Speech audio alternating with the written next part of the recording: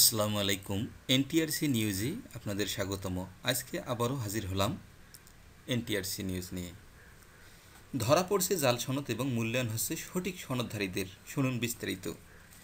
মেধাবীদের যথাযথ মূল্যায়নের উদ্দেশ্যে গত তিরিশ জানুয়ারি দুই হাজার আঠারো ইং তারিখ হইতে এনটিআরসি এ সনদ যাচাই কার্যক্রম শুরু করেন, যা এখনও অব্যাহত আছে।